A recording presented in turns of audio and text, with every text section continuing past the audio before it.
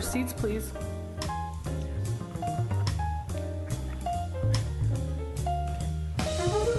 This is May 20th, 2016, uh, 2019. Santa Barbara City Council, our budget hearing. Please join us in the Pledge of Allegiance.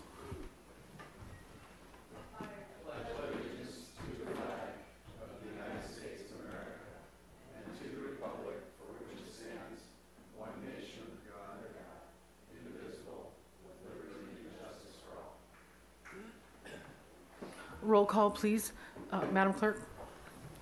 Councilmember Dominguez. Councilmember Rowse. Councilmember Sneddon. Mayor Pro Tem Friedman. Here. Councilmember Harmon. Here. Councilmember Gutierrez. Here. And Mayor Murillo. Here. Councilmember Sneddon is coming from one of her water agency assignments, so. um, What is the item today, Ms. Clerk, if you would read it? Item number two, subject fiscal year 2020 recommended operating and capital budget. Mr. Casey, it's um, fire and police today? Okay, and we're starting with fire. Chief Nickel?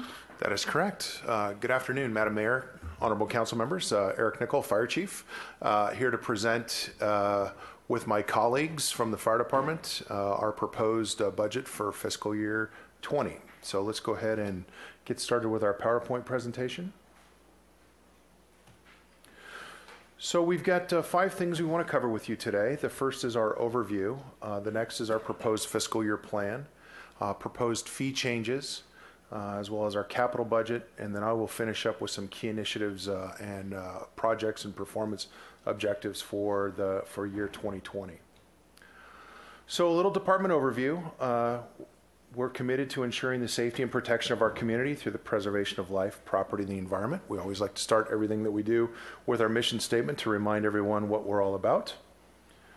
This is the organizational chart. We have seven programs, three funds, and 106 FTEs. And if you recall last year, uh, the council approved uh, the new position for uh, Liliana's uh, public outreach position, which you see there beneath the emergency services manager, the public education coordinator. Uh, I'm happy to announce, uh, I won't go into great detail because she will be here tomorrow in the council meeting to talk about the, the bilingual aspects of, of what she has done. But between uh, her and, and Yoli, our emergency manager, uh, we have done um, four CERT trainings this year and trained a total of 73 people, 41 in English and 32 in Spanish. Um, we are leading the state in the Listos program, which really targets the Spanish speaking community for disaster and emergency preparedness. Uh, we've done uh, three of those programs this year for a total of 60 Spanish speaking residents. We've been present at every significant uh, community event with a public education information table. Um, and then we've conducted four community disaster education workshops totaling 110 participants. So, pretty impressive numbers when you talk about the work that we're out there doing in the community to prepare uh, the community. Um, and again, we will go into that in much greater detail tomorrow. I know that the council will hear from the Cool Block folks, but I just want to let you know the work that our team has been doing to get the message out there around disaster preparedness. One of the hallmarks, uh, one of the uh, items of Cool Block is disaster preparedness, but I'm here to tell you that we're already doing a great deal of that through the fire department, really based upon some of the decisions you made last year in funding that public education outreach position. So the fire department has eight fire stations. We have seven within uh, here, the, the, the city limits, and then uh, we also are the fire department out at the airport. We work 48 hour shifts, two 24 hour shifts on. We have 29 positions assigned every day, 24 7, 365. What you see here is the breakdown of the daily staffing with one battalion chief, the engine crew, the aircraft uh, rescue firefighting crew, and then the crew that cross staffs the truck rescue and the squad. So we have 29 fire personnel on duty on this 48 hour shift uh, on a daily basis. We also have hourly employees and professional contractors. So we try to maximize the, the, the resources that we have, the budget dollars that we have. Uh, we don't require full time positions for uh, a lot of these spots. We're able to uh, accomplish this with uh, some hourly staff. We are required uh, with our uh, medical program because our dispatchers If you recall, when I was here uh, last week at the council meeting talking about the dispatch center, we do what's called emergency medical dispatch, where the dispatchers can query to ascertain what type of call it is. We do have to have a medical director for that in order to use that program. It's a full time medical doctor. He also oversees the EMT program to make sure that we're prepared and trained to the highest level of, of care possible. We have an EMS nurse educator who also provides a lot of the training for our staff, and that's on an, on an hourly position. These next two positions are really supporting some of the technology needs within the fire department. You know, we're trying to be more efficient in how we use uh, the taxpayers' dollars. So um, there are some technology projects that we have working out there, whether it's our tablets that we track our, uh, our, our patient care records, our emergency response. We use as our computer aided dispatch. We have smartphones within the fire apparatus, those types of things. And then the last position is basically our logistics position uh, that helps make sure that all the fire stations are fully stocked with medical supplies and, and, and the like uh, to operate these eight fire stations. So the fleet here, uh, we have uh, just a quick little snapshot of what types of vehicles we have within the fleet. Uh, we have 47 vehicles. Um, you know, 14 of those are, are the fire engines. Uh, seven of those being frontline. We also have brush fire engines, the smaller fire engines, uh, to get up on the on the narrow or dirt roads. We have two ladder trucks, one frontline and one reserve you know, a community of this size to not be without a ladder truck to get up to higher uh, levels uh, just would not be uh, optimal, would not be safe for the for the community. We have a combination uh, hazardous materials uh, vehicle that also uh, doubles as our to fill our air bottles at the scene of calls. These next vehicles, squads and patrols, are smaller pickup type vehicles that have um, the the patrols have a small pump in them. We use those for either patrolling or mopping up after after brush fires. And then uh, the other vehicle that I want to point out, the ARF ARFF aircraft uh, rescue firefighting. Those are the big, large green vehicles, fire vehicles, suppression vehicles that are out at the airport that basically have to be uh, anywhere within the fence line of the airport within three minutes of notification uh, to uh, take care of any sort of aircraft uh, crash emergency. So I'm going to turn it over to uh, my colleague here, Ron. After uh, one last data point, I wanted to give you um, that we felt would be important here that we didn't include in the slides. Just to give you a, a, a snapshot of the total calls for service last year, the fire department ran 10,341 calls for service last year. That's everything from a cat in a tree to a structure fire to a water rescue. Uh, of that, uh, 6,783 of those, or roughly 65%, two thirds, were medical calls. So, with that, I'll turn it over to Ron to go over the, uh, the budget details. Thank you. Afternoon, Madam Mayor, council members. I am Ron Lichty, the Fire Department's business manager. I'm here to talk about the fiscal year 2020 plan with you. As you know, the fire department is composed of three primary funds, totaling uh, our proposed plan is for $29,866,000 this year. The general fund is 99% of our uh, spendable uh, our spendable funds, and that's at $29,556,000. And then we have a small fire equipment replacement fund and our wildland fire suppression fund.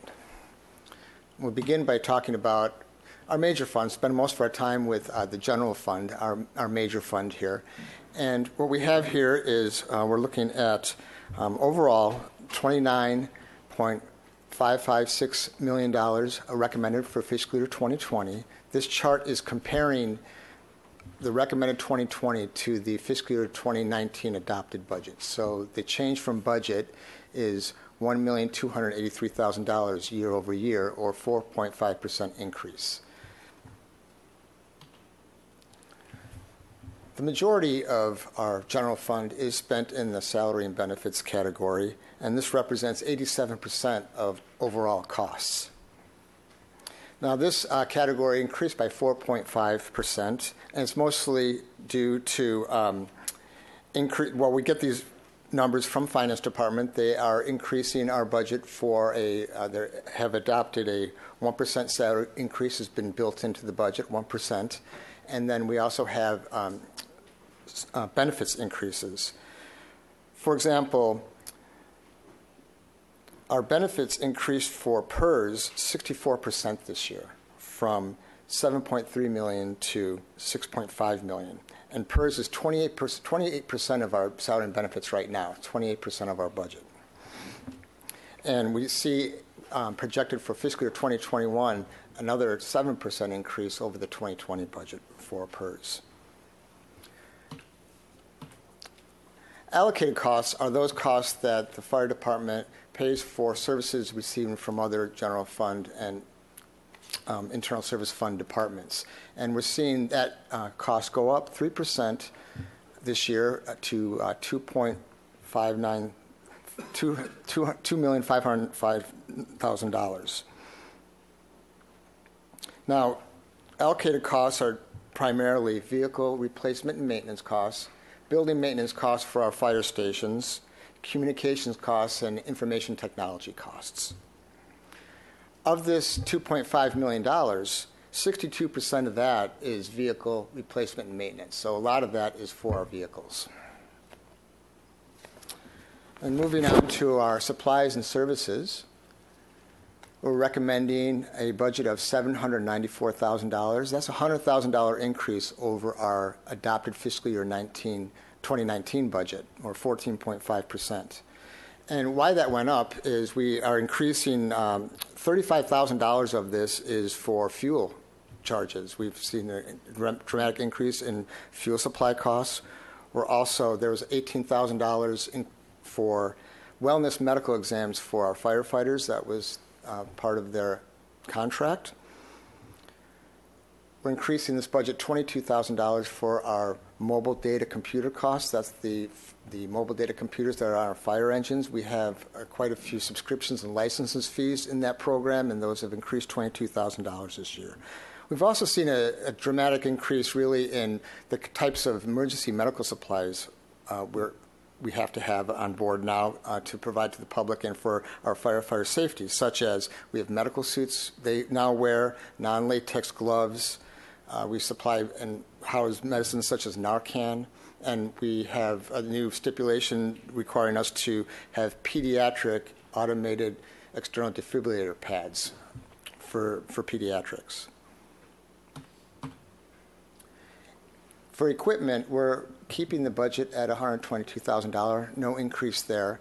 You may see projected is $141,000. That just represents a carryover from fiscal year 2018 budget into 2019. Some funds that had to be that were encumbered and were spent in 2019. And uh, we have a final line, Special Projects Academy. That's our fire academy, and we're proposing to do, uh, should our staffing levels require it, another fire academy in the coming fiscal year for $300,000. Now, another way to look at our fire department expenditures, that was by type of cost, like we, we call major object, but this is by our different programs. And so if we look at our programs, these are our programs, and if we combine our um, emergency response and firefighter suppression, that's our operations and aircraft rescue and firefighting, the two of those combined constitute 86% of our budget. So 86% of our budget is involved with direct uh, emergency response and fire suppression. And these numbers are all in your budget book, and they correlate to the numbers we just showed in total. Our other major fund is our Wildland Fire Benefit Assessment Fund, and we see that we're uh, recommending the budget to be $275,000 this year overall, that represents a $10,000 or 3.9% increase, and this corresponds to the benefit assessment district revenues that will be increasing by like amount. One item that did change in this budget was allocated costs. And it just turned out that the finance department calculations uh, for overhead allocation reduced by this amount this year, so uh, we see a reduction. Special projects, uh, th- this is the work of the fund where we have uh, defensible space management, road clearance, and vegetation management. And special projects is going up $13,000, and that was the result of uh, half of a year's grant that we had received. In fact, fiscal year 2019, we received a $35,000 grant, so we applied that all into special projects. Now, the other side of our expenditures is revenues, and these are the revenues for the fire department. Overall, the revenues have uh, increased. We're proposing an increase of 3.6% to $29,866,000. The first fee is uh, fees and service charges. And these in- fees and service charges we talked about in the Finance uh, Committee meeting uh, for proposed fee changes. And fees such as this include fire company engine inspections, building plan reviews, and issuing fire code permits. And we'll be talking more about these on a next, next slide. Interfund reimbursement. This is, a, this is the amount of money that we charge the airport for the fire protection services we provide to the airport. So these are expenses to the airport, and there are revenues. And they're going up by 1.7% this year. Intergovernmental happens to be a couple of grants we received in fiscal year 19, and we have more in the pipeline for fiscal year 20, but they just haven't been secured yet exactly, so we haven't budgeted them. Mutual aid reimbursements, we're keeping that figure for the recommended budget at $1 million, uh, just as it was in 2019, though we see in the fiscal year 2019 projected column $1.6 million. We had $600,000 more in mutual aid revenues than we had anticipated, and that's when we, our firefighters go out uh, where they're called for an incident outside our jurisdictional boundaries. We provide aid, and then we get reimbursed for the amount of money we uh, spend for our firefighters to go to that to that incident. It's conservative to keep that number at 1 million because otherwise, uh, if we booked it at higher, uh, when we don't reach it, we'd be in a negative position. And then just to emphasize that the fire department is funded primarily by the general fund and by general fund ta- taxes, you can see that we're recommending $25,200,000 is to be uh, the general fund subsidy, and overall, we're increasing the subsidy by 7.1% this year. And then just a couple of slides on uh, proposed fee changes.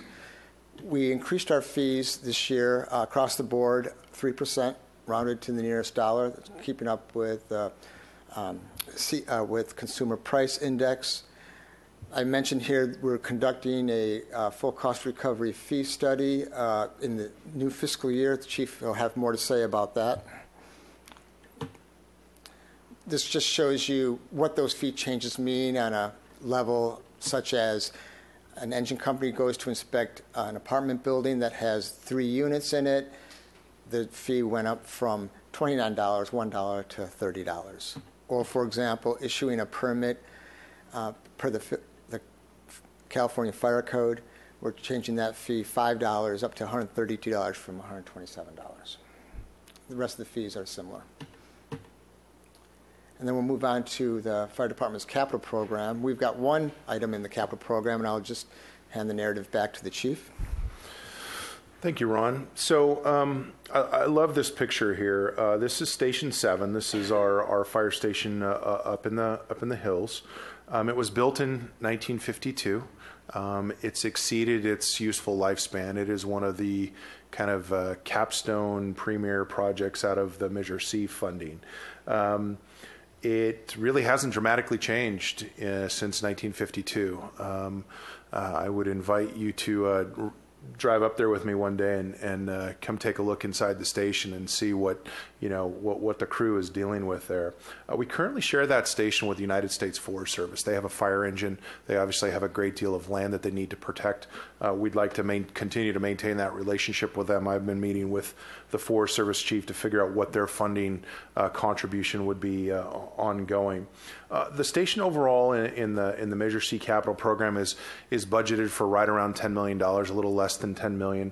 Uh, we're proposing in the capital program about four hundred eighty-five thousand to start the architectural design of the station. The station will be rebuilt on the existing site. There was some talk that maybe the station would move further down the road a little bit, but there were too many obstacles and uh, far too costly uh, uh, um, demolition to uh, uh, use the other location. So we will be rebuilding it uh, on the, the, existing site.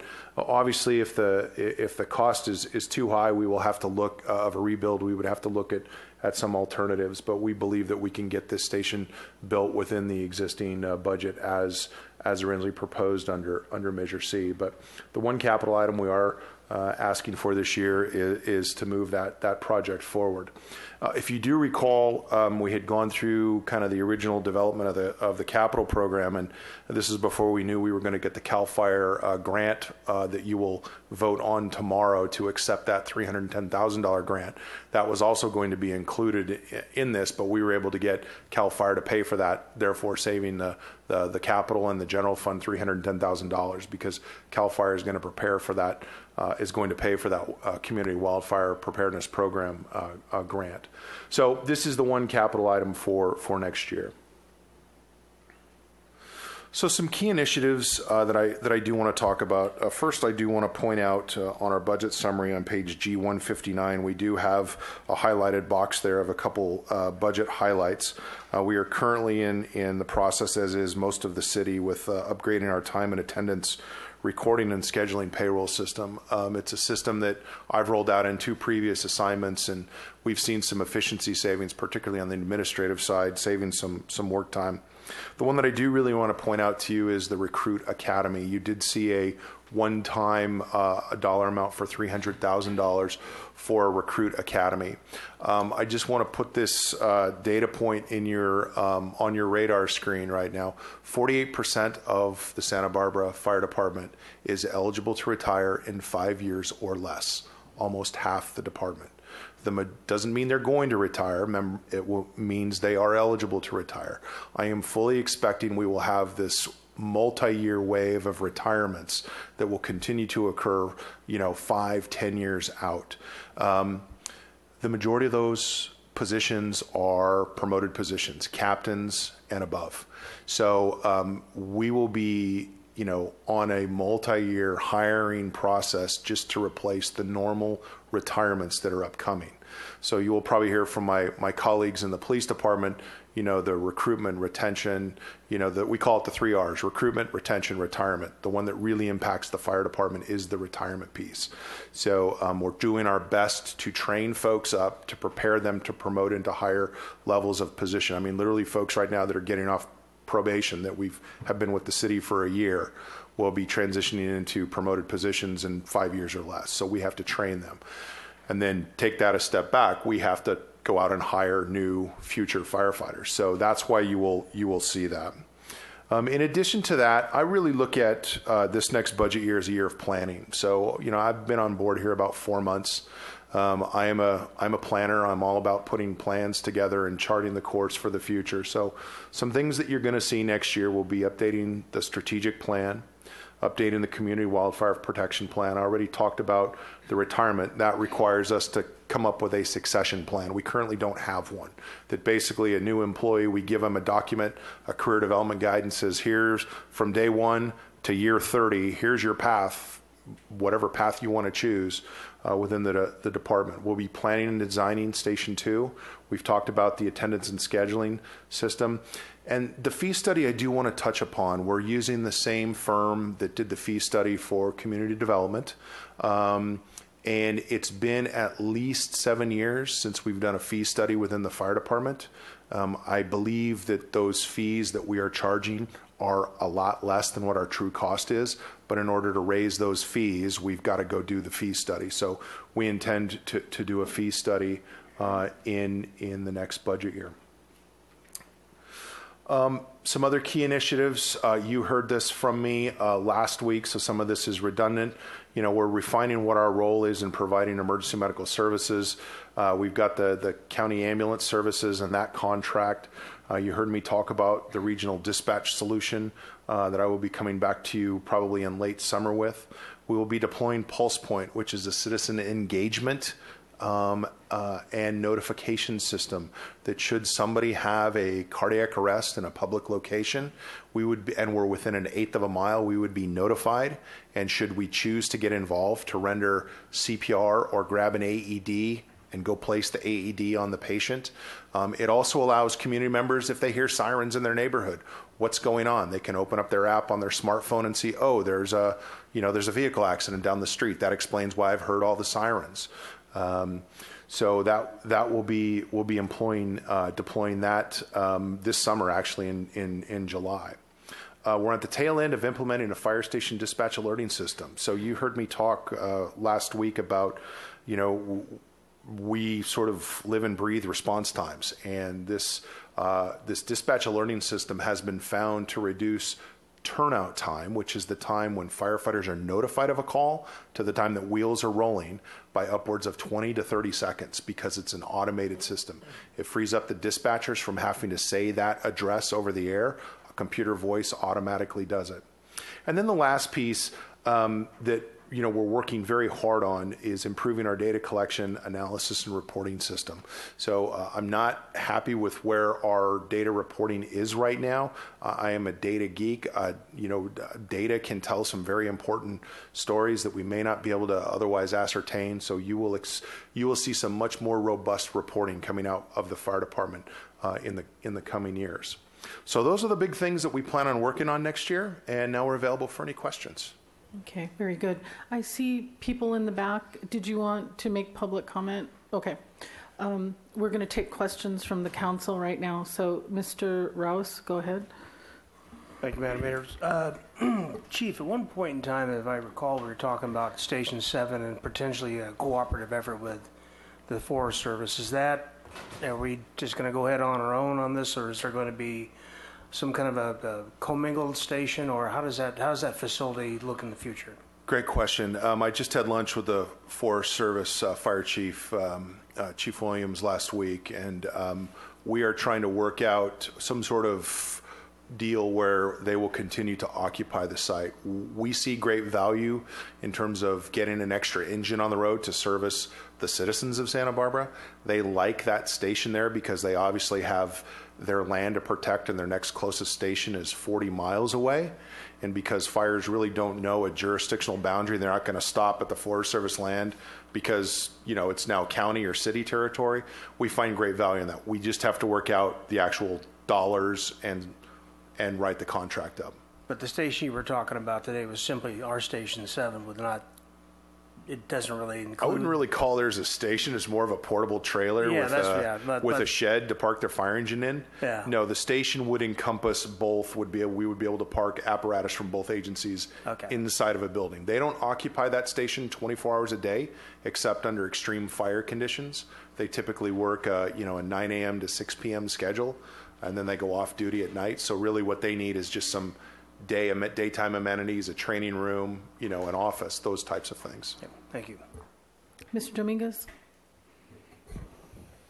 I have a question on the equipment expenditures.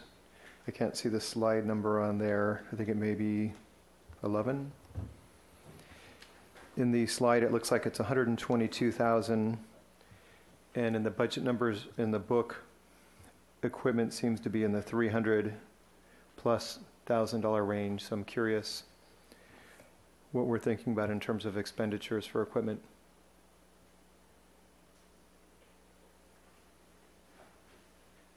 I'm trying to get to the slide there.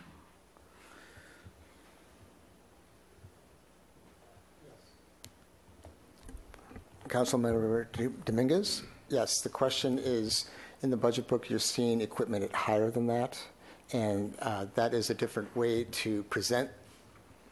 And I believe that equipment would be transfers in, but I'd have to look at it.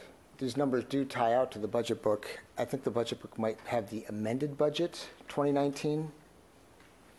You Well, that was going to be my next question is, is why do you use the earliest number, which would be the adopted budget versus the amended or the projected, which are newer numbers as your baseline? We- The reason we use the adopted budget, it's a truer picture of what the actual change is. The amended budget is typically shows carryovers from the previous year's encumbered funds that were carried over into the new fund. So artificially increasing what the amended budget really is, what the adopted is. So if we had $100,000 in unspent but encumbered funds from the previous year, that rolls over, carries over into the new fiscal year and shows up as an amended budget. And you're not talking about the amendments we make the following year for the second year of a budget? No, no, not at all. You're talking Just- about not, not when the council actually amends a budget? by Correct. changing some of the categories? What- Correct. That's what you're talking about? Yes, it's just, it's just the, it's primarily carryover dollars from the previous year's budget. Okay. And isn't that a more accurate picture?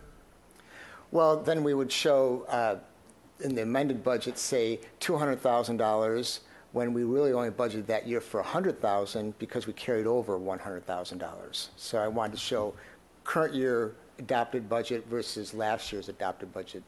Okay. And so the equipment here shows in the 120s, in the book it shows, well, you have actually two categories. You have non-capital equipment and capital equipment.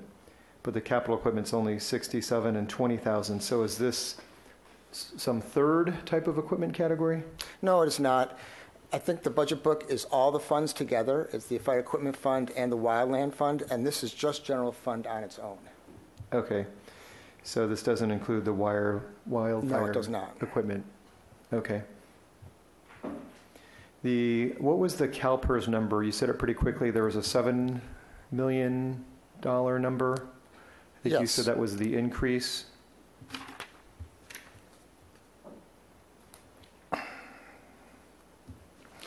CalPERS, in the adopted for- plan for fiscal year 2020, is increasing from $6.5 million to the department to $7.3 million. That is almost eight- um, $800,000 increase. And I was trying to display why um, our salary and benefits was going up by a million dollars. That much is just due to CalPERS. And, and what, what is that increase in which category?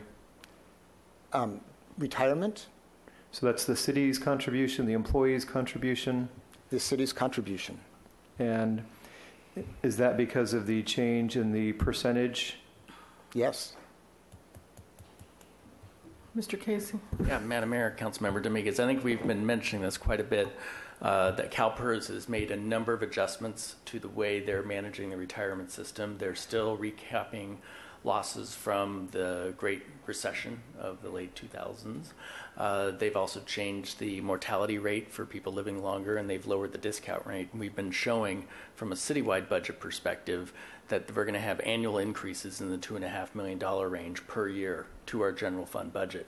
Uh, Mr. Lichty is just uh, identifying what the fire department's share of that is, which is about $800,000. It's a big number, but that is the city's contribution that needs to be increased to pay CalPERS. Thanks. And so that includes all three categories. I think it was a discount rate, the maturity, or mortality, I'm sorry. And I think there's a third category. I can't remember which one it is. Economic losses. So that's all of those. Correct. And is that number going to be relatively flat for the following couple years, or that's the number that's growing exponentially? Madam Mayor, Councilmember Dominguez, that, that's the number that's going to be going up about that amount every year between now and 2025. So in the 2021 budget, it's also going to be a 4.5%? Yep. Okay. And how does that impact the employees' contribution? Does that stay the same year to year? Or will that also see the same percentage increase? Uh, Madam Mayor, Councilmember Dominguez, uh, as you know, we have a number of different bargaining units with the city, and we have different employee cost sharing formulas with each of the different bargaining units. The general bargaining units, which is not the fire department, have a percentage cost sharing, and so their contributions will increase year over year. Uh, the police and fire bargaining units have a fixed uh, cost sharing formula right now, but it's negotiated between you and the bargaining units every time you have a labor agreement with them. So it'll be depending upon what you negotiate with them as part of the bargaining process. Okay, thank you very much. Uh, Mr. Gutierrez, please. Thank you, Madam Mayor. Um, Thank you for the presentation. I have a question on uh, page G159 in the little uh, grayed out area on the right under fiscal year 2020 budget highlights. At the bottom, it says purchase and install FAA approved and required aircraft rescue and fire- firefighting uh, ancillary equipment on new apparatus. Would you mind just going in a little more detail as to what that is? Sure, Madam Mayor, Councilmember Dominguez, um, the. the- Gutierrez. Gutierrez, sorry. That's okay. My apologies. Um, The, the fire department received an FAA grant to pay for the new uh, vehicle. Uh, These aircraft uh, fire vehicles are very costly. Uh, We are very aggressive with our uh, uh, seeking these grants. So what we are proposing here in this budget is just some ancillary equipment that will go on to to the vehicle. The the new, it'll be a brand new crash rescue vehicle. We should be getting it late this year. Um, it will replace one of the two existing ones that are out there. Okay. And uh, on page G160, under special projects, what what is a special project in relation to the fire department?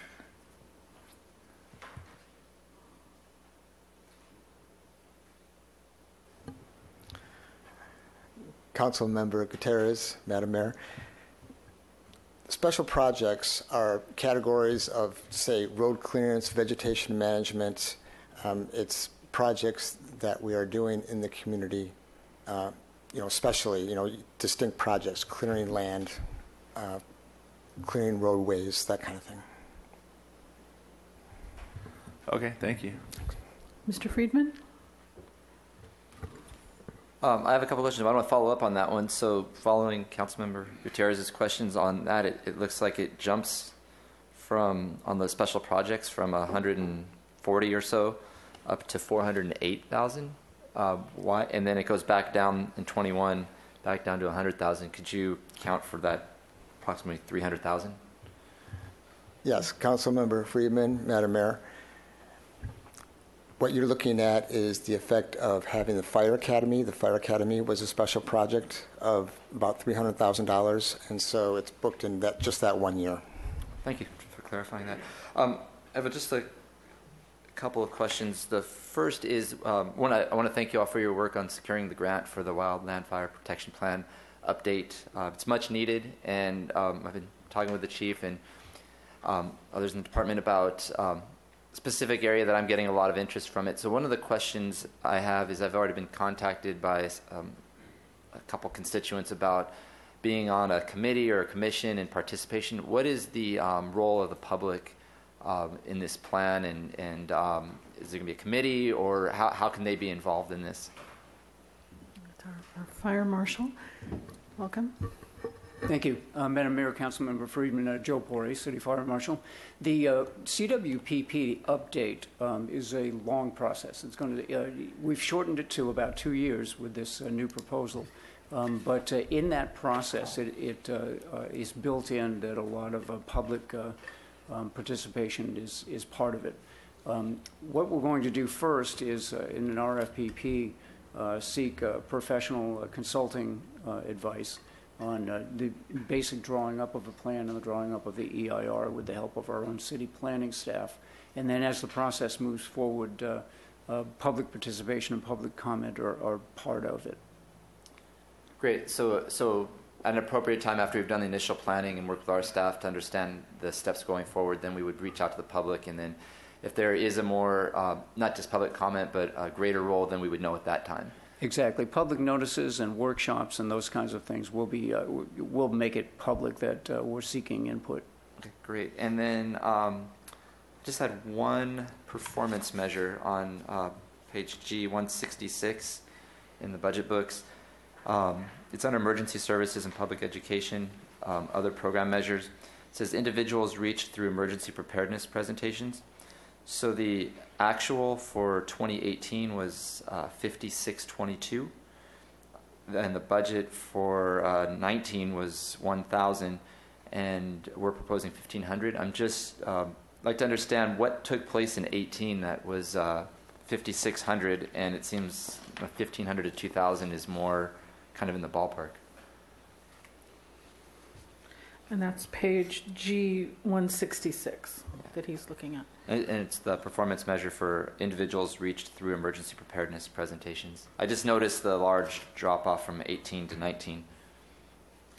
I think the uh, the number of CERT classes plays a role in there, um, and uh, and we're s- kind of spreading that out. Uh, uh, and part of it's going to be based on OES and uh, how much our, our, our public education coordinator Liliana Encinas is, is going to be able to handle in that type of outreach. Uh, thank you very much. Thanks. Chief, I had a quick question about the airport. So we have increased flights. Does that change your preparedness for emergencies at the airport? Uh, Madam Mayor, great question. Uh, we're under what's called an FAA index, and uh, they they index airports nationwide based upon some objective standards. And there's two primary drivers of the FAA indexing. One is the size of aircraft that utilize that airport, and two is the number of passengers that move through that airport. Right now, we're indexed, I believe, at a level C. Um, now, if we continue to bring in larger aircraft, as the airport director has said, um, he said a lot of the existing airlines are, because their smaller planes are full, they're upgrading their aircraft size. And if we continue to do more business there, there is a chance that the indexing could be upgraded that would require a higher level of protection. But I believe we're still a ways off from that. We currently have three firefighters out there every day, a captain and two engineers uh, that operate that station. Round the clock, right? Correct. We hate to talk about planes crashing, but you have to be prepared for that. Correct. Okay. Well, there's no public comment, so um, people seem to be saying their deliberative comments, but I'll just thank you. And um, somebody was just talking about fire season the other day, and I was like, well, we're always on alert, right?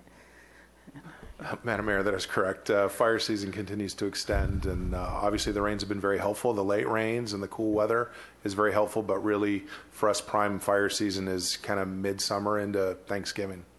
Okay. And we'll look forward to the presentation tomorrow.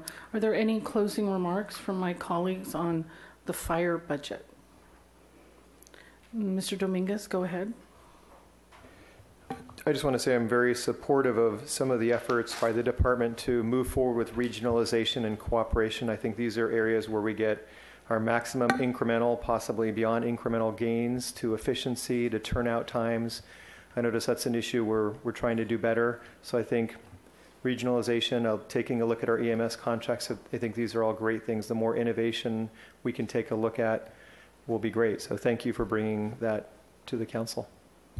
And we're looking forward to the strategic planning. Thanks for that. Mr. Litke, thank you. Always good to see you. Councilmember uh, Sneddon, we're closing up. Um, anything that I, I, I, this is your chance. Microphone. I, I apologize for having to miss the presentation. I'm very appreciative of the work that you're doing and that you're about to do with our um, wildland fire safety and evacuation planning, and, and I look forward to seeing some of the results of those. And, and um, thank you for securing the grant funding, and I'm supportive. Great. Thank you. Councilmember Friedman was asking about public outreach, and we heard there's going to be rigorous public outreach in English and Spanish. It seems like we'll hear about more about that tomorrow. So we'll go ahead and close this item with thanks, and uh, the uh, police department is next. We'll let them set up.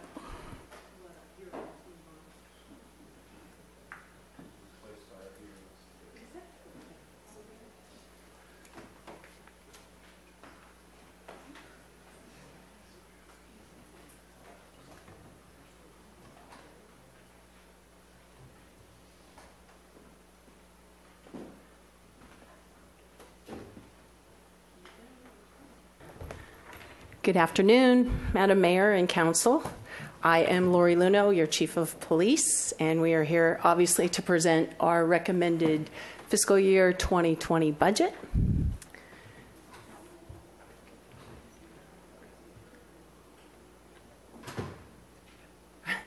And our format and outline is going to be as you've heard, so we will move through that and on to our department overview. And this year I gave you an abbreviated org chart because ours gets super comprehensive. Um, what I want to point out is we do have 211 full time positions. That 142 sworn is actually 141. Our deputy chief position that we eliminated two years ago keeps trying to creep into our stats. Um, so it actually is the 141. But we are divided into three divisions, each of which, which are run by one of our captains, and I have them here with me. We have Captain Al- Altavilla that oversees our criminal investigations and internal operations. We have Captain Arroyo that oversees strategic operations and personnel, and then Captain Stoney that oversees field operations. And one quick question. Um, we, we do a lot. Mostly the public just sees us responding to radio calls, but we do within these divisions so much more. Our dispatchers, as you know, uh, handle the bulk of the starting point for our public response. And the, this last year, I should say in 2018, they answered over 53,000 911 calls. And our special events team, and they don't get a lot of credit, which is why I'm squeezing them in, um, handled over 150 operational plans to help bring special events here, as well as 70 tactical plans to make sure those events were um, safe for the community as a whole. Our animal control, just to give you an idea, handle on average seven calls for service a day, and they impounded over 900 animals in 2018. But we have 15 programs, five different funds um, and 20 professional service contracts that add up to be over $2.2 million. And then we do have a fleet that it exists and we manage with the, with the help of Public Works, which is over 80 vehicles. So moving on, um, our staffing, this is the percentage of where our staffing would be if we were fully staffed. And I want to take a minute to explain that. So on paper, we have three openings right now, and that includes a retirement, retirement that we just had on Friday. But when you break it down, we have 109 people for our functional staffing. So we essentially are doing what we do on a daily basis. I want to say we do it excellent um, with about 60% of our staff right now because we have three vacancies, four people in field training, seven in training at the academy. We have two of our officers that are covering our dispatch center to make sure that those positions are staffed. And then we have 16 people that are on some level of approved leave. So, in saying that, we continually adjust our staffing with the ever changing environment. And some of the things that impact us that I think are overlooked are obviously um, new legislation that comes down, and there's some big ones that are on the books for this year, and we're going to have to adjust again in a way that takes extra work, or I should say, increases our workload. It, it, it, will readjust our, our workload priorities. So we're constantly involving, and just some other things this last year that really have touched us is our active shooter response. I think everybody knows that those have increased, and we've done a great job doing some training with our community, incorporating training with our schools, as well as with our fire department. Um, the need to be more transparent and uh, release public information. We already at this time in 2019 have had over 71 requests for PRAs, which is beyond what we had uh, last year already. Um, use of force and, and de escalation are really important items that we're continually um, training and uh, mandating appropriate reporting so that we can release that information as we need to. We're definitely um, maintaining very positive media relations and doing a lot of that ourselves with our social media to ensure we maintain that level of public support.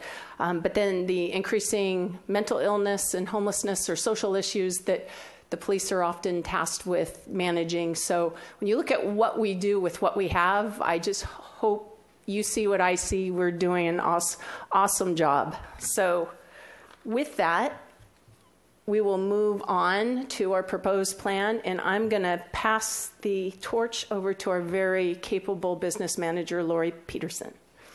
Ms. Peterson, welcome. Good afternoon, Madam Mayor and Council. My name is Lori Peterson, and I'm the business manager at the Police Department. And I'm going to take you through the financial numbers uh, for the department for the fiscal year 2020 budget. Um, the first slide shows while we do have five funds, mostly our activity is concentrated into the three major funds you can see up here, with the largest fund being the general fund, which supports us at 89%. In the general fund department revenue, so the revenue that the department brings in in order to support itself, is about 10% of that, or $4.6 million, which also includes the traffic safety money, which is also looked at as its own fund. So that's why it's a little hard to account for the five funds, but they consolidate into the three. And then in miscellaneous grants, we have the COPS SLESF fund and miscellaneous grants, meaning like um, Office of Traffic Safety um, and any of the other grants that we get throughout the year, um, Bulletproof Vest Partnership and things like that. That's where that money is recorded and can be seen. Um, the total um, department revenue is 45.9 million, almost 46 million for 2020. On here, the proposed expenditures are broken down by salaries and benefits, supplies and services, allocated costs, special projects, and other. Um, just as in the fire department, the majority of the increase in our budget can be seen in the salaries and benefits for a matching percentage of 4.5%. In supplies and services, there was a slight reduction um, from the original 2019 budget to the proposed 2020 recommended budget. Allocated costs have gone up just by 2.2%. Again, those are the funds or the fees that we pay for the services we receive from other departments, such as custodial services, um, the vehicle allocations, et cetera. And then on the special project front, we have uh, fewer special projects going forward in 2020. The one um, major component in that $65,000 that you can see there is a $50,000 contract um, with the Council on Alcoholism and Drug Abuse. It's for their early identification specialists. So it's a one year contract to con- continue funding that position. Um, and then a small $15,000 that goes into the special canine um, fund that transfers in to cover their expenses. I'm sorry, that was special projects or other? Which one? Special projects is Okay. that 65,000. Thanks. So the majority of it it is the $50,000 contract. In the other, um, that one represents in uh, fiscal year 2020, we're going to be moving forward with the replacement of the mobile data computers in the vehicles. And that has been an allocation fund where it has set aside, set aside money so that we can replace um, at the end of its life cycle.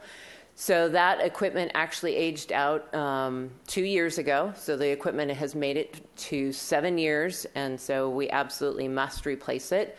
And we will be using uh, approximately three hundred and fifty thousand dollars to replace that equipment in the vehicles this coming year. So that's the majority of that four hundred and sixty-three thousand that you see um, for 2020 and the overall uh, total budget is four points is four, 46 million point three. In this, this is just a graphic representation of where those expenditures are occurring. Again, 87% is going to salaries and benefits, 7% to the supplies and services, 5% to allocated costs, and 1% to other and special projects. Some of the key budget changes um, for us this year is the addition of one position and a reclassification of one, the increase in various services and fees within the department, and again, that major project of the mobile device computers in the vehicles. The staffing changes that we've requested is the addition of an administrative analyst position, and this would be added in the business office um, as a support for doing the financial um, monthly reporting and budget and doing the necessary reports moving forward. And then a reclassification of one administrative assistant position to a police technician position to better match um, their job duties with their job title. The proposed revenues for the next uh, for 2020. Um, the major component for the department is the parking violation revenue. As you can see, that's um, $2.4 million out of $4.6 million. Um, I will talk about the specific uh, fee changes and how that increases these numbers in the next couple of slides. Service charges, catch up here.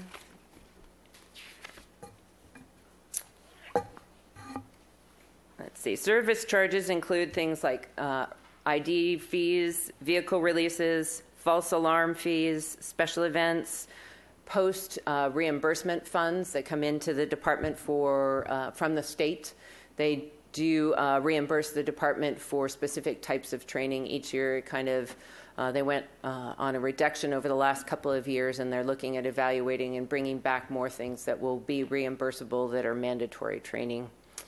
Um, under the JPA and uh, property for- forfeiture, that represents um, our JPA agreement with the other uh, local law enforcement agencies. They provide uh, 50% of the IT manager position, so that comes in, in under that line, as well as property forfeiture, so items that are not um, retrieved from our property room or vehicles um, that are um, not retrieved. Other things, permits and licenses. Our taxi fee permits are included in there, and licenses for dog licenses. One of the items that is showing on here that will be changing over is the crossing guards. The uh, school district uh, provides 50% of the cost of that program, but that program will be moving over to Public Works to be administered, and so that item will actually be moved over into their budget. It just started after the budget process had already begun, so we weren't able to kind of grab that. So I wanted to show that it was in there, but it will be moving. And then we have um, some minor donations throughout the year. Uh, animal control uh, receives um, money from a trust every year, and then other um, donations made through dog licenses are reflected here as well. And here's just kind of all of those incoming revenues, again, showing that parking violations are the majority of the department's revenue that comes in, followed by the service charges. So, in the next section, we're going to talk about the various fees that are increasing, um, as well as parking citations. And these increases were basically needed in order to defray the costs of um, just conducting business every day. So, we're trying to re- catch up with where we are on the expenses. I'm going to interrupt you since you're coming to the end of one of your sections. Um, so you say the Council on Alcoholism and Drug Abuse, we give them money Yes. to do, uh, what is that? Madam Mayor and City Council, we have funded through our asset seizure funds the early interventionist position that was, I, I want to say, probably critical when we, before Prop 47, when we had mandated drug court. Now it's evolved to they try to identify people that will be able to essentially be deferred to an additional, deferred is the wrong word, um, moved to some sort of treatment court um, so what we've seen is a trend of reducing asset seizure funds. We haven't seen the funds replace, and we approved this year one-year contract um, in because we do not believe that those funds are going to continue to be reimbursed as they have in the past. Do we get a report back from that nonprofit on their success? How do we measure what they're, what they're doing with that money? Madam Mayor, we get a monthly report on the number of people that enter the program and their graduation numbers as well. Any other questions before we go on to the next section? Fee changes. Okay, go ahead, please. So um, we looked at uh, the fees department wide and made some recommendations across the board. Um, the total estimated revenue impact with all of these changes is less than $100,000.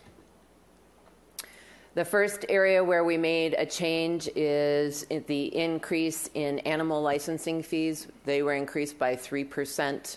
Um, these fees haven't been increased in probably seven years. Um, so it was time to do some catch up work on that. Just the, the cost of doing business, mailing the licenses, the tags themselves, working with the vendor as well. So that estimated additional revenue is $15,000. On the DUI response recovery, um, we did a 7% increase. This is the fees related to responding to an incident where um, the person is arrested for driving under the influence.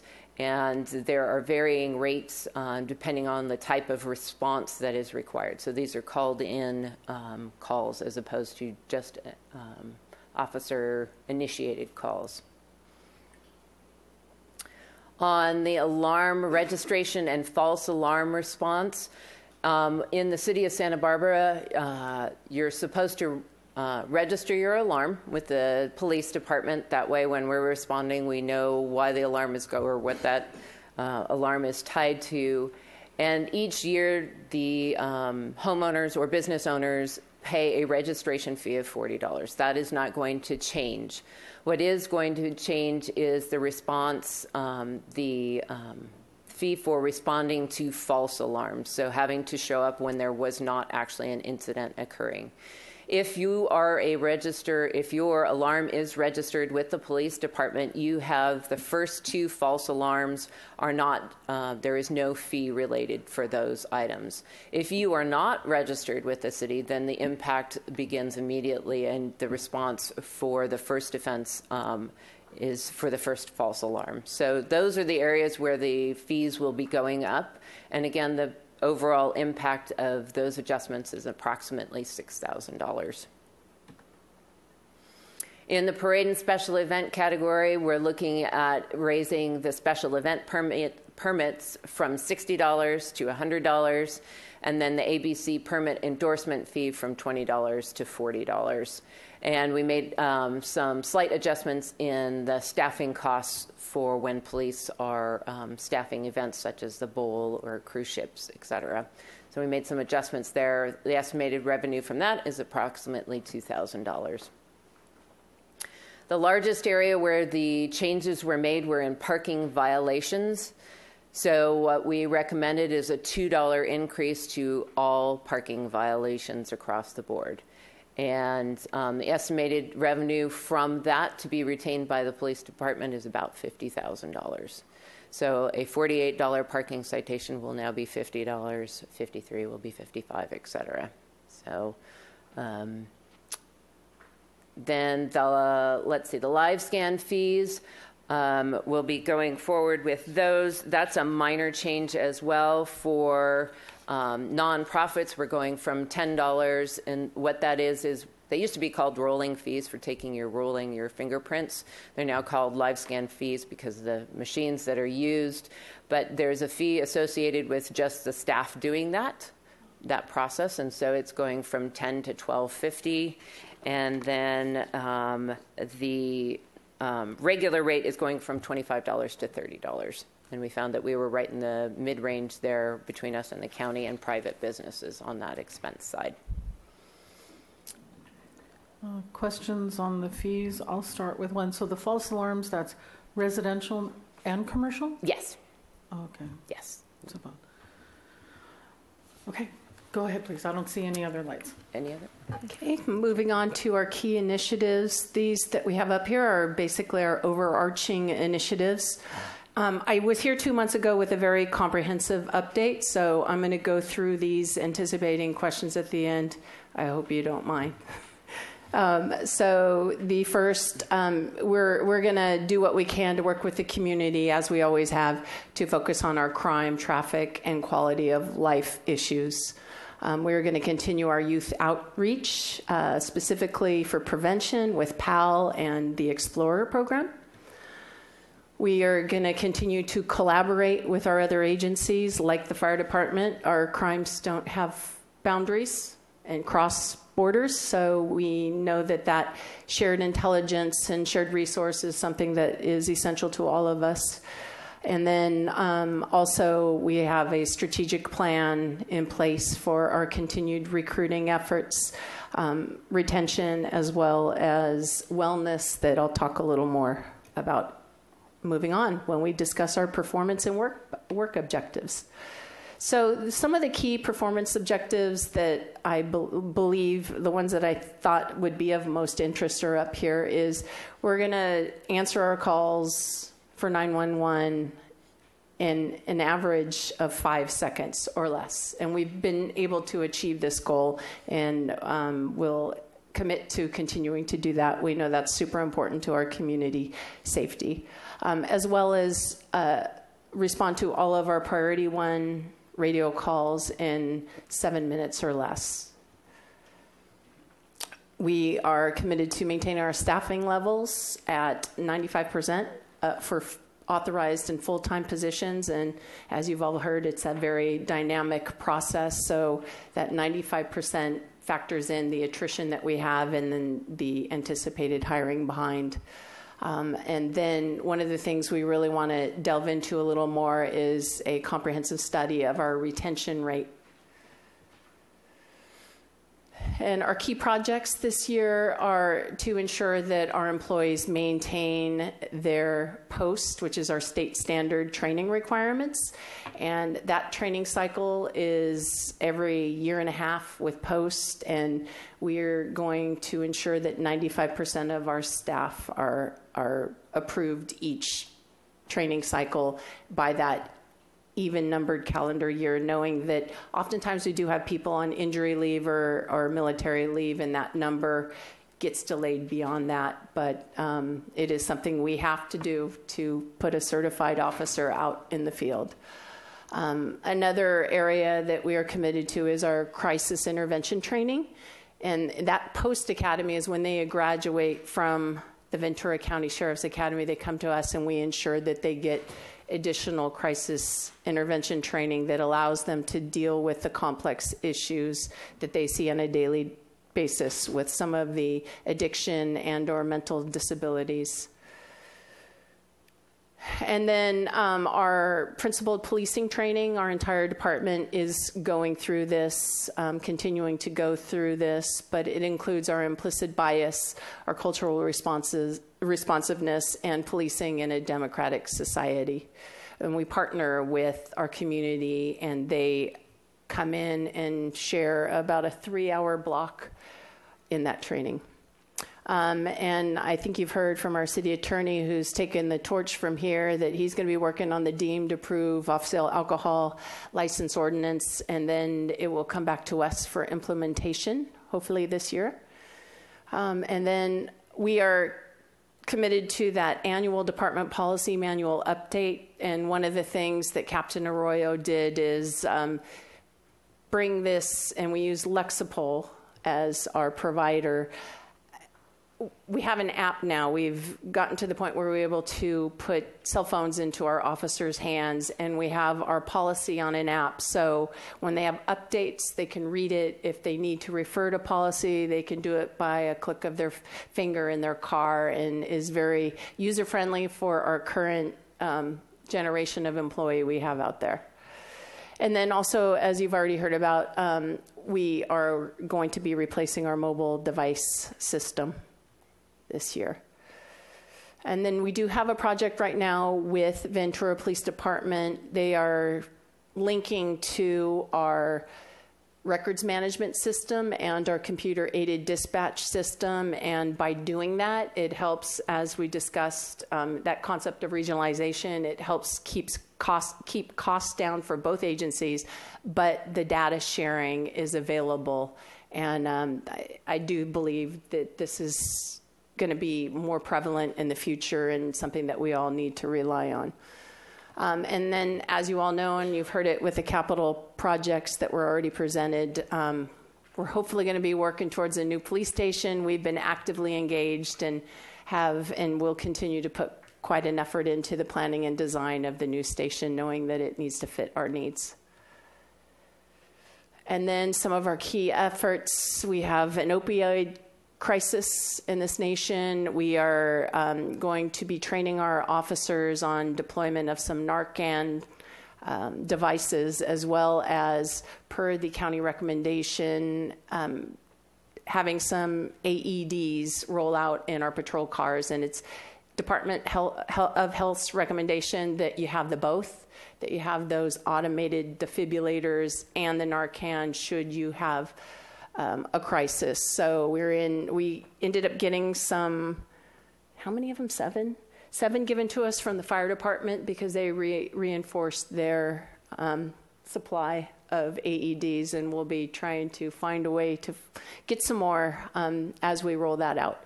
But you all know we've been here many times. We are collaborating on the HEAP grant. We are committed to um, collaborating on the tobacco grant. Um, I mentioned our recruitment strategic plan. In essence, we've found a way to increase our process. We have a um, customer service approach now that I really think is making a difference. And I know Captain Arroyo has a lot more detail on that, but it's it's creating the buzz about our department and making sure that those very few applicants that are out there and everybody's competing for that we're grabbing them first and engaging them and and basically seeing a positive result with them committing to come with us.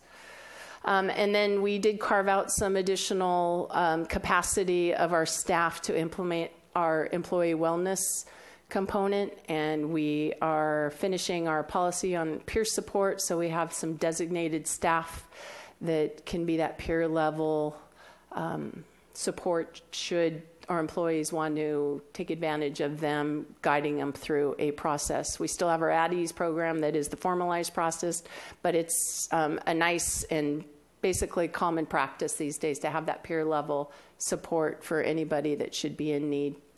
Um, and then we hope to expand our volunteer program and, and what they do. As you know, we're up to 14 now. Um, one of the things that have really, because we have so many people out with different leaves and whatnot, um, our background process has been bogged down with us trying to get officers hired, our parking enforce, enforcers hired, and unfortunately, when it comes down to it, our volunteers, as vital as they are to us, the backgrounds sometimes are pushed because we have some other pending priorities, but we are committed to expanding that program as well.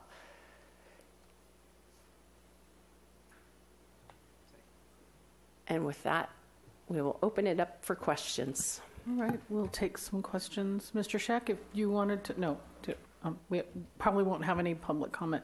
So Mr. Rowse and then Mr. Dominguez. Thank you, Madam Mayor. Chief, uh, going back to your, one of your very first slides about the number of sworn, I'm, I'm still confused. So we're authorized 142 sworn, but you mentioned it was one, 141? Um, I correct it. We are authorized 141. It used to be 142 when Yeah, I we had our that. deputy chief. Okay, so, but, and I don't know, maybe Mr. Casey can answer this, are we still authorized to overhire to, to uh, cover obviously potential or anticipated retirements as well as all the IOD and things we're Madam Mayor, Councilmember Rowse, our goal is to fill those three positions with this next hiring cycle and get those four overhires. We have not had the opportunity to overhire since I've been here, but I want to say we have some, what I, what I believe is some really good people in our background process. Okay. And then, uh, in the tobacco dollars, um, were there funds available for overtime for patrol in that, that, that's understood, and, and are those being implemented? Madam Mayor, Councilmember Rowse, yes, we got off to a slow start, in regards to keeping up with the funds that were allocated, and I don't want to misquote the numbers, but it, I, I did see uh, Nina Johnson's presentation. I believe it was the range of 350,000 for the first couple years. Um, we have been on a cycle. We increased the patrol staffing available for that grant, and we have not seen openings uh, be left behind. So we're getting the officers that are filling them, and then we are now adding an evening element that are going to give us the opportunity for additional support out there dur- during our nightlife enforcement for the smoking grant and other things. All right. And regarding the, uh, the, the, the apps that the, now the police will have access to on their cell phones, you're not suggesting they're going to drive distracted, are you? Absolutely not. Okay. Mr. Dominguez? So I had questions regarding your measures and objectives related to uh, homeless persons on G300. And these are in, in other program measures. And I'm curious, first of all, it seems like this has become such a uh, big ticket item at council. Is this something that you would consider moving into measurable can't see it. objectives? I don't know if that makes a difference in how you treat them operationally. And in 2019, we had budgeted 84 placements and recoveries. Our projected is 54 and then proposed is 75. Is there anything we can do or is there anything more optimistic than what we're seeing here? Madam Mayor, Councilmember Dominguez, I, I think our HEAP grant will increase those numbers for sure. So we base this on our permanent staff that we currently have allocated, our additional restorative position, or I should say, filled position we will have with overtime will definitely sh- should increase that number. But it is, on average, we manage uh, about a caseload of 50 per month from our restorative unit but we do max our capacity with that. Yeah, and, and the concern is just the actual number for, for 18 was 85, so this represents downward by 10 people. And it seems like we've got more resources now than ever. There's more homeless now than ever. And um, I don't know if that's because there's other agencies that are providing that service, and so we're just facing a more competitive environment. I- I'm not sure where we have more homeless than ever before. Like you just said, the number came Unsheltered. down, I think, in the count. But go ahead, Captain Stoney. Madam Mayor, Councilmember Dominguez, uh, this number is based on a three-year average, so what you're seeing is, last year we were very aggressive with that, and we're hoping to continue that. So we'd like at the end of the year to, to bump the number up again, but the 75 is reflective of a three-year average, so that's where we're looking at, where our goal is. But again, we're very optimistic considering last year we had the 85. Okay. And the, uh, in the measurable objectives, maintain the restorative policing programs with a minimum of 35 active cases at all times. Is that also a three-year average, and that's just based on the number of personnel you have assigned to that unit? This is Uh, on G300 Madam Mayor, as well. Councilmember Dominguez, yes, they're all three-year averages, and we, um, when I first ha- got here, we had one person restorative, and we did up that to two, so it's likely we will see that number increase. So shouldn't we increase our goal if we're throwing more resources at it? We, I want to say we can, but we, we're, I'm confident we'll get there, but we were being conservative with the three-year average. Okay. The um, next question relating to response times on 317.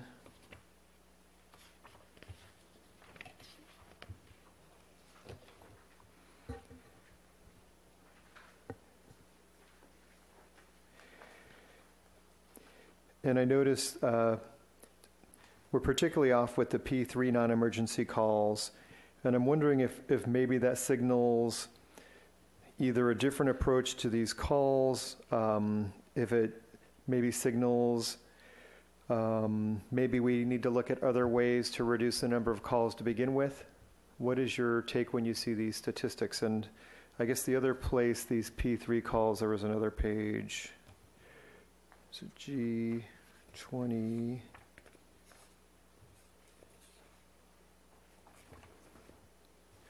G28 gives the total number of P3 non-emergency calls, projected 9,000 this year, and we're proposing 8,700. So I see that as a big problem because it's so many calls and we're not hitting our goals. So what can we do as a city to help you by reducing the number of calls to begin with? Madam Mayor, Councilmember Dominguez, this argues, I think, the change of our approach to policing. As I mentioned, we were hit with a lot of things evolving in our community. So it's fair to ask, how can we provide a different ser- service delivery model, which you know, the not that the volunteers have taken away much of that workload, but that's one idea that they will be out there to handle some of those non emergency issues. One of the things we did do is we expanded our online reporting. We are at the point where we need to advertise that more. We expanded it to Spanish as of recent. There are 21 reports that people can uh, can initiate online. And in addition, we are now encouraging people to come in for their non injury collisions to the police station to fill out the proper work, paperwork themselves. It's essentially an insurance report. So that is one of the things, and that was something we looked at. We went to over 1,100 of those calls. If we were called and people need us because they see that somebody doesn't have a license, doesn't have insurance, there's conflict, we will be there. But it is essentially an, an insurance report, and we're encouraging people to either fill one out online or to go to the station to fill out a counter report for that.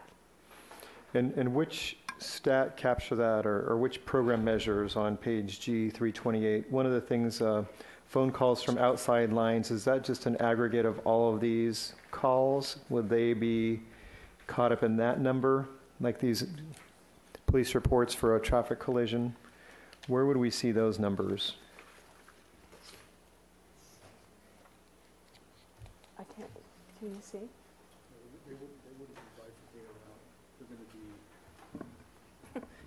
I have to apologize. I can't even see it. I don't have my glasses, unfortunately. I'm going to have Captain Altavilla answer this. That's fine, Chief. Thank you.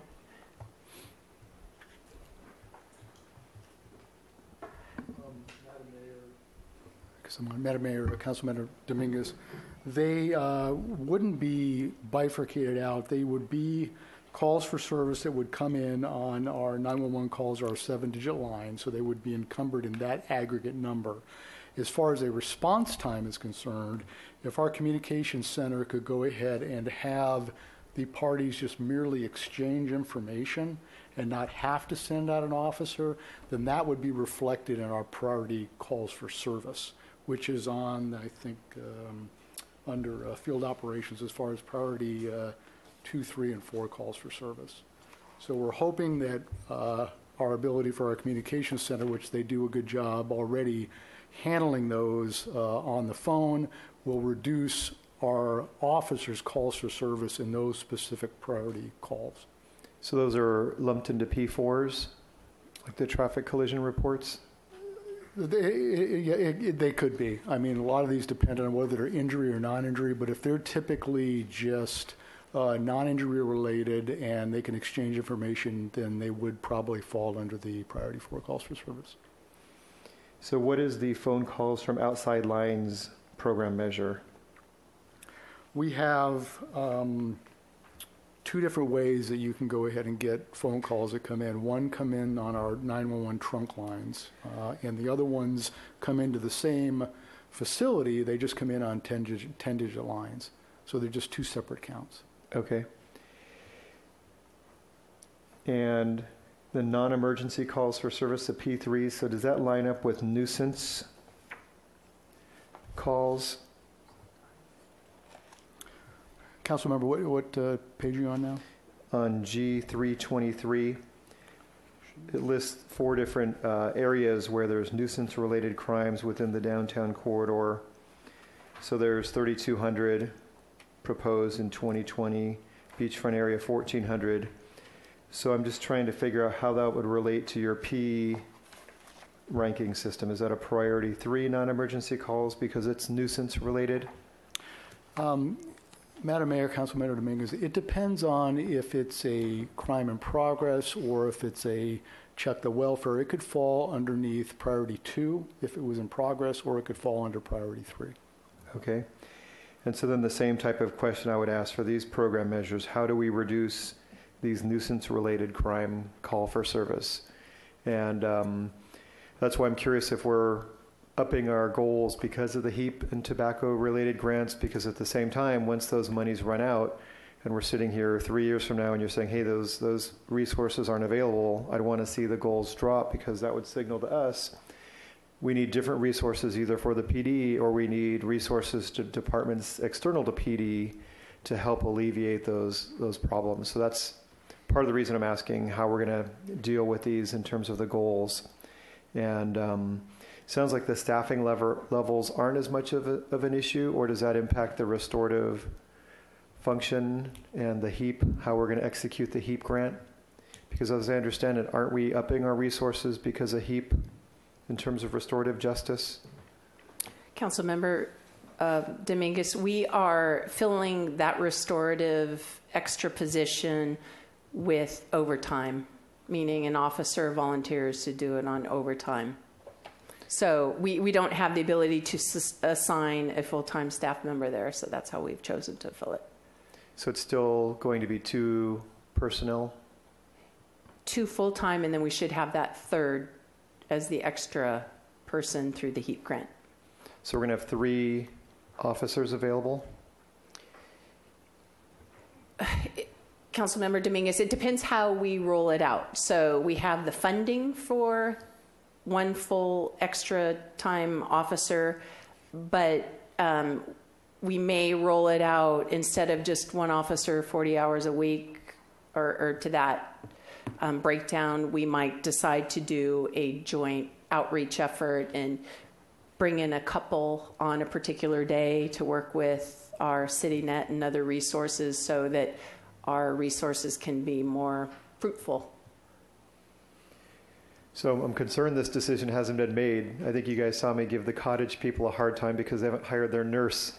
And um, so who's going to be kind of managing that for the department and when will we get more certainty? Madam Mayor, Councilmember Dominguez, Lieutenant Aaron Baker is managing it. We knew from the beginning we were not going to be able to put a full-time officer in there with our staffing challenges. So our intent was to fill it with overtime resources. We've already been doing that. And I believe it was, I don't want to misquote the numbers, um, but we had one detail out there so far that I know specifically we had some very positive results. Great. That's all I have. Thank you very much. Great. We have some other lights on. Mr. uh, Friedman. Um, you know, recently we, I think all the council received an email about a noise issue on the west side, and then um, your response back to me, Chief, was that, um, and the response from the constituent was the program SNAP with City College. Could you? This gets into the additional resources and partnerships, and um, I wasn't too familiar with that. So if you could just explain what SNAP is and how um, how it's the relationship works, and, and if it, you think it's beneficial for us. Madam Mayor, Council Member Friedman, our SNAP program is our student noise abatement program, and it is a collaboration with City College, and it came through in about 2015 or 16, I believe, right when I got here, and it was. Um, determined that there is a new, I should say, it was voted upon. We have a an ordinance in particular that has a administrative penalty attached to noise complaints. And the intent of the program is to focus on some of our city college related noise issues. We can expand that and, and have seen some broader application, but the the intent is to have a student um, employee that makes contact and has the ability to hopefully um, be more persuasive than the criminal element uh, that we would enforce. So they roll out, they give residents warnings, and if those warnings are not heeded, then they um, escalate the civil penalty with return responses. So we have had some challenges with our hiring.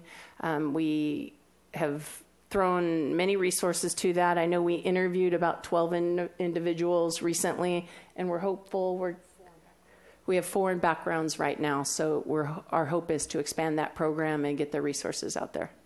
And um, with the, the challenges that you just mentioned, it, do you think this program is beneficial? Is it helping us um, be more, I guess, the cost benefit for the resources that we invest versus the return that we're, we're getting? Is it something that is worth us to continue? It seems like it is.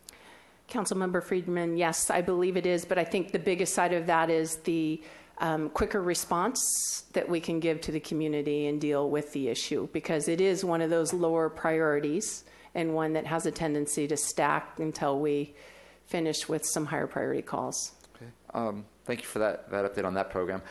Uh, just have a couple of questions. I think it's on page uh, 3, 318. Uh, it gets to the um, homeless uh, or the transit camp cleanup details. So we had we're at, at budgeting for about 40. In terms of um, resources, what types of resources would you typically deploy for a, um, a cleanup? And, and where I'm getting at is the, the amount of resources that we're taking off of maybe other priority calls. Uh, how often are we doing encampments and then uh, cleaning encampments and then the type of resources that are involved?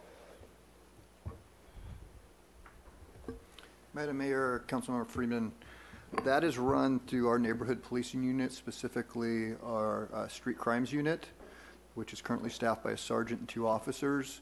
When we do identify a place, uh, location that needs a full camp cleanup, uh, 72 hours prior, we'll go out, we'll post that area, notifying who's ever occupying that, that in 72 hours we'll do a cleanup.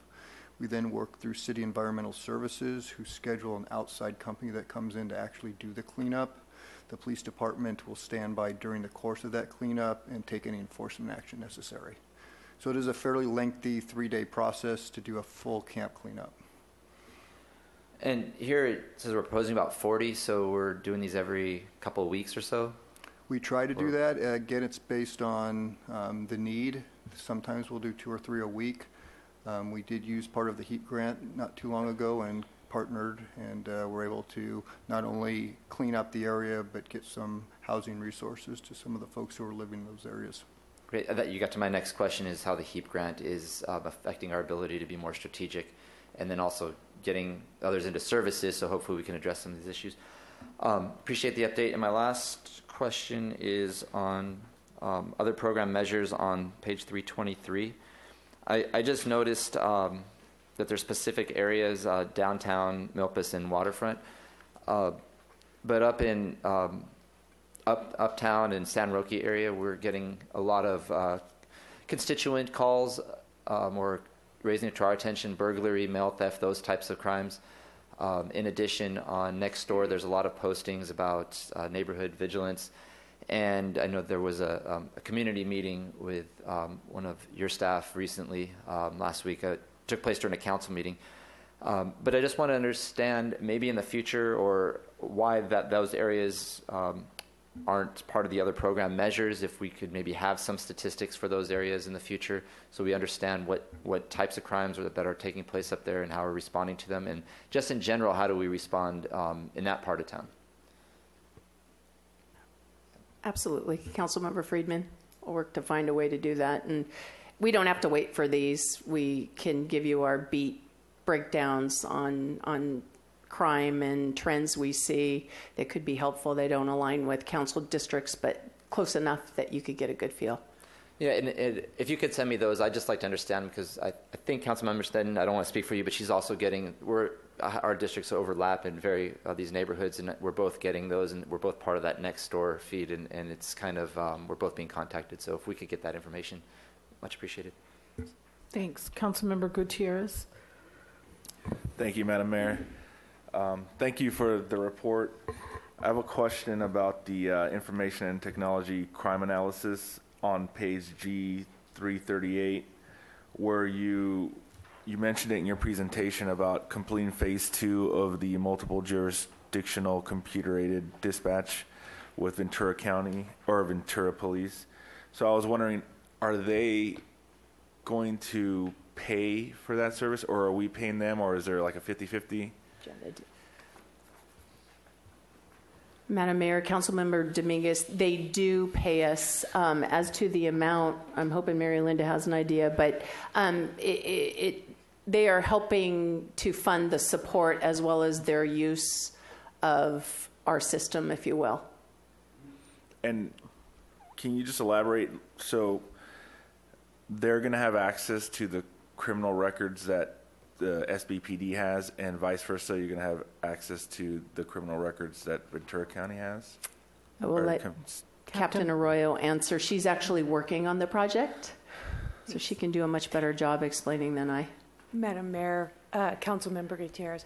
Yes, um, right now, any law enforcement agency in California or actually um, nationwide can re- request information from us on any given time um, if they have the need to know, right to know. Uh, what this does is it's a Versadex, which is a company based out of Canada that we utilize for our records management system as well as our computer aided dispatch. Ventura Police Department has recently switched over to that and they're going through the process um, and they are paying us for services that we are providing to support them.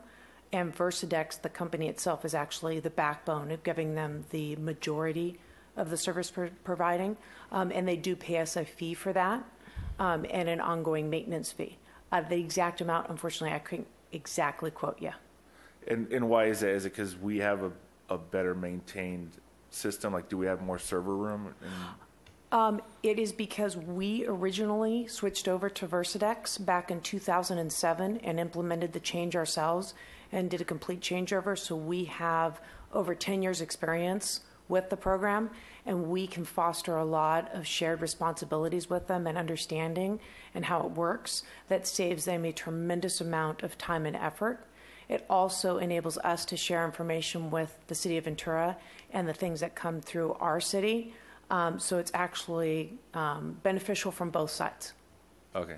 So it's not unusual to have uh, two different city departments communicating with each other when it comes to information like this?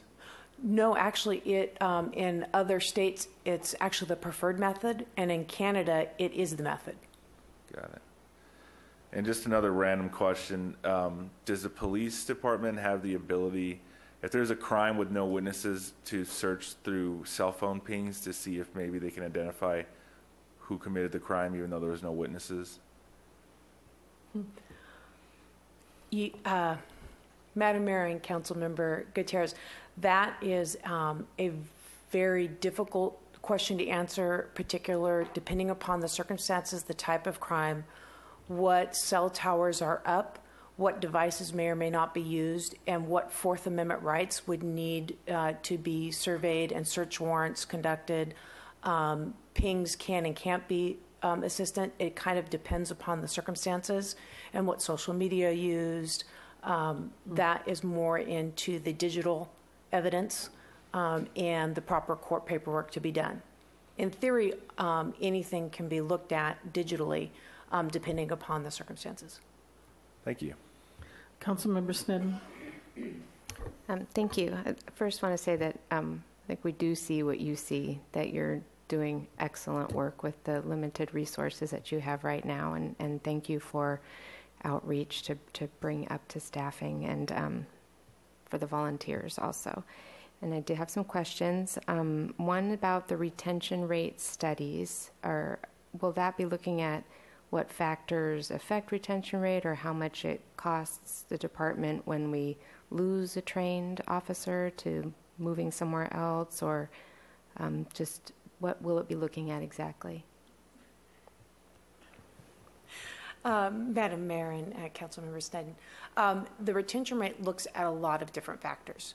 Um, what keeps our people invested here, as well as what attracts them, as well as what things we could do better, and that so that's a, a global perspective per se. We are looking at all er, anything and everything, and also what other agencies are doing and what other industries are doing. Um, how can we do things differently, and how do we progress? With the new generations and the new challenges that we have. Okay, thank you. And will we see the results of that this year, this study, or is that something longer term? Um, Madam Mayor and Council Members, Sneddon, I would absolutely say that you would see some type of results. We would certainly want to share that um, with this body and making sure that um, everyone is a recruiter for us mm-hmm. and understands our challenges and how we can move forward together. Thank you. Um, and then I, I, did have the opportunity to meet several explorers who are just highly dedicated to mm-hmm. the program. And, and one that one shared with me is that by working through that program for several years, that then they are really dedicated to staying local and, and feel vested. And it seems like a really excellent program. I have questions about, um, let's see, on G304, some of the variability in those numbers, and maybe it's just three year averages, I don't know. Um, but I wanted to ask about that. We have the Explore Post Volunteer Community Service Hours. Um, those seem to be going up, but PAL meetings and events almost, I don't know, that seems like quite a decrease. Maybe you could just talk about the public meetings and presentations. They're high, and then they go to 294, and then up. Just some of the variability in there on that particular page, community and media relations. You're asking about the public meetings and presentations line item? Well, I think I'm asking about each of those. They seem to go, um, you know, neighborhood improvement task force meetings seems relatively stable, but sort of the PAL meetings and events, it goes from 418 and then proposed is 255. Um, but then the hours in the post volunteer community service hours go way up, and I'm I'm just wondering about the Fluctuation. variability. Yeah. Madam Mayor, Councilmember Sneddon, I know these combined um, areas that our beat coordinators specifically focus on, and then some that are more general, and we have other support from our officers. So we, with our staffing challenges, have reduced our beat coordinators down to three right now. Fortunately, one's been on an extended leave, so we have taken that into consideration um, just for that particular unit. But we do have the support of our patrol officers, knowing that that is where we're putting our resources right now to respond and attend those meetings. So some of those numbers may go back up again once we're fully staffed. Yes, ma'am. Okay, thank you. And then um, under the crime lab section, if you could just give us an idea of the status of our rape kits. Are they we up to date with those or? Madam Ma- Mayor, Councilmember Sneddon, we are up to date, and I've checked on that twice this year, and we have been up to date every time I've asked. That's so excellent. Thank you. When you hear that nationally, how they're backlogged and not taken as seriously, thank you for that. Um, then in G332, um, I was just wanted to ask about the status of human trafficking investigations completed. It, it seems to be grouped with vice and narcotics. And I was wondering, the number goes down, and I was wondering, is that because the rates are going down or just investigations going down on um, 332? Madam Mayor, Councilmember Sneddon, again, that's going to be a three-year average, and that's one of those details uh, when it comes to staffing that fluctuates a little bit with our narcotics unit.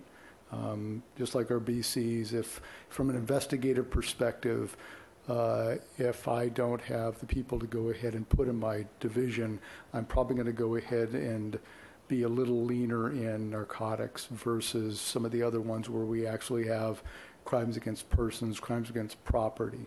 Um, So that's, again, it's going to be a three-year average and a uh, a deployment issue. And then those three are, are sort of grouped together, narcotic, vice, and human trafficking. And I'm, I'm wondering specifically about the human trafficking numbers, if they seem to be level or do we know? You know, at this particular point in time, I I don't have those numbers bifurcated out, but we can, we can get them to you because they all lumped in as far as this P3 goal here. Yeah, thank you. I know you're working diligently on that. I was just interested in that number. And then um, domestic violence specifically is, do we have, how are the trends on that? Do we have preventative programs or education or, or what is, what are things we're doing on that front? Madam Mayor, Councilmember Sneddon, I know this last year we did roll out a, cons- a, a comprehensive training element.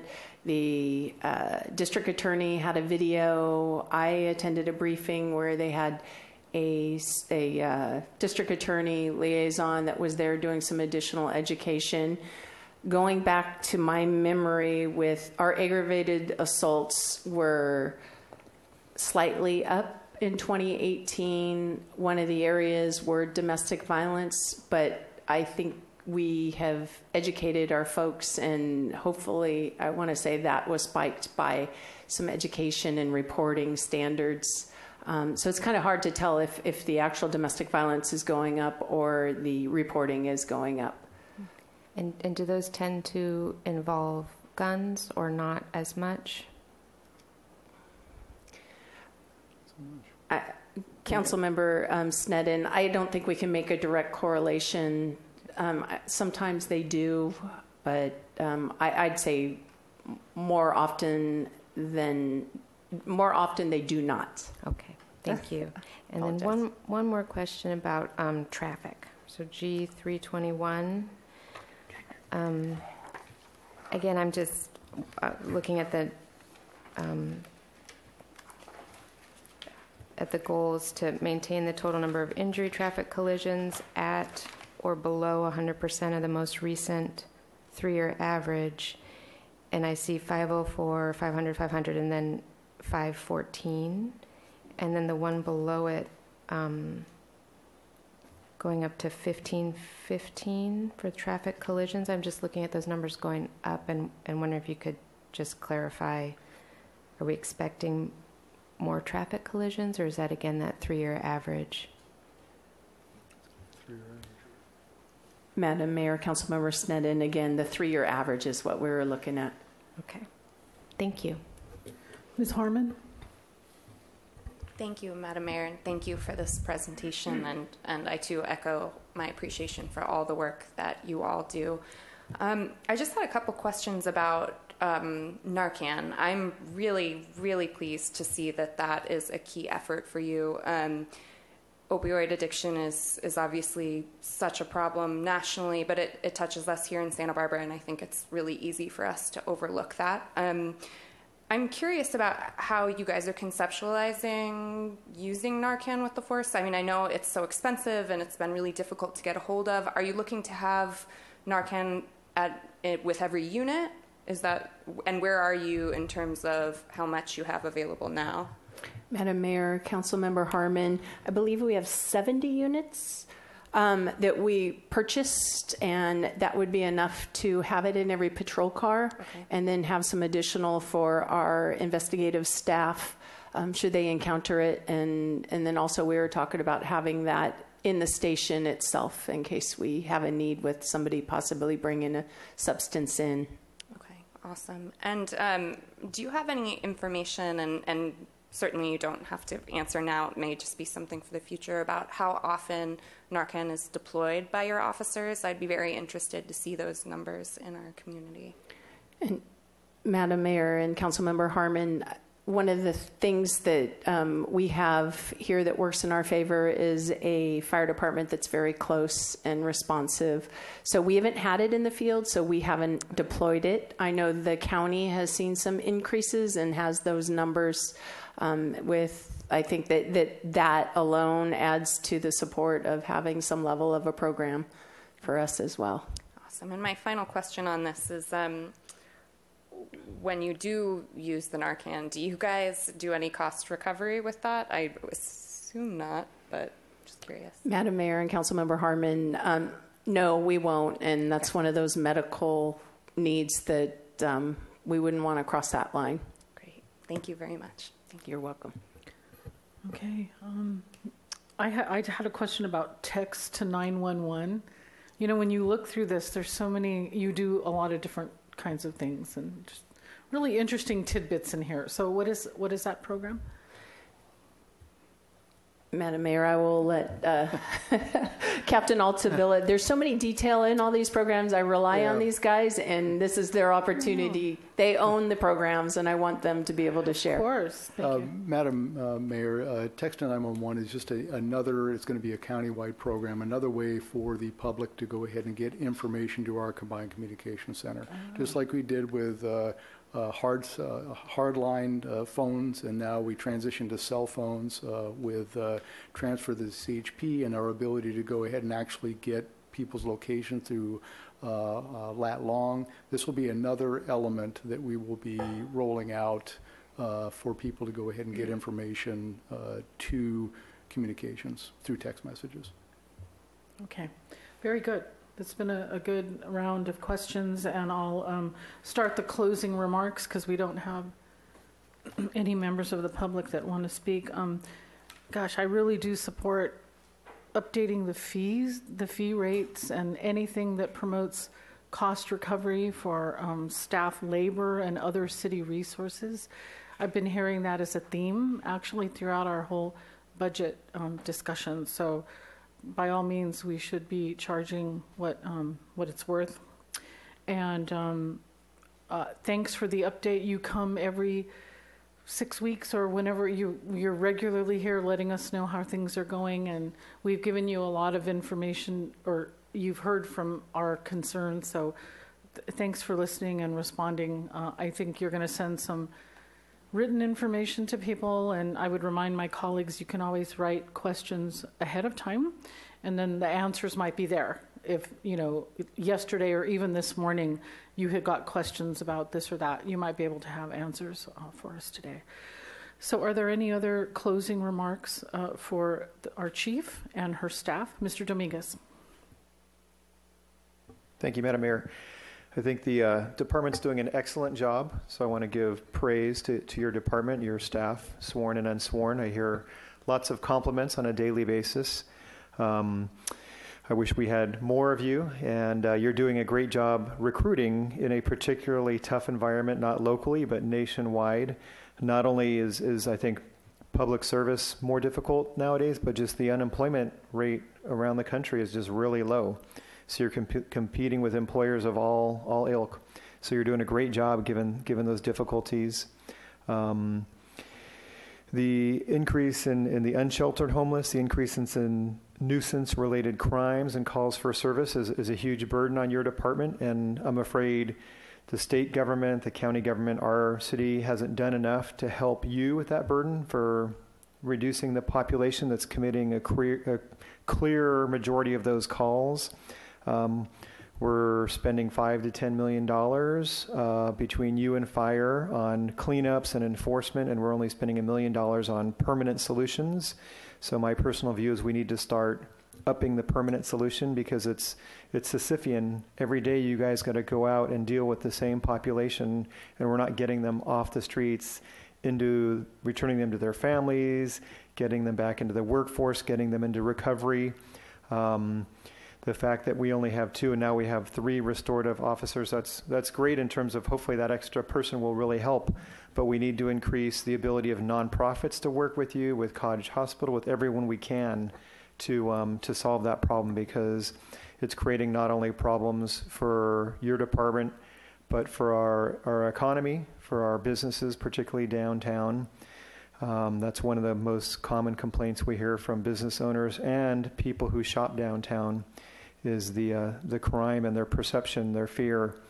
Um, I really appreciate your efforts collaborating with other agencies and looking at things regionally. Your work with youth, your work with PAL, um, your great improvements with dispatch, and I really, someone who studied psychology and, and worked in mental health, I think your work with the crisis intervention training is great, and I want to see you successful in that effort. So thank you very much. Thanks so much. And Chief, thanks for sending a couple of officers to the community job fair a couple of Saturdays ago. I think they got to talk to a few people. Um, so thank you. We'll close the police item. Mr. Casey, we have one big department presentation left, so it's Public Works on Wednesday, May 29th, 2:30 p.m. right here in council chambers. Anything to add, or we're ready to adjourn to tomorrow? Uh, Officially, the whole council at two, but we have a closed session at 11 related to labor negotiations, and then the Finance Committee is meeting, ordinance, getting a break this, this Tuesday. Okay, uh, meeting adjourned.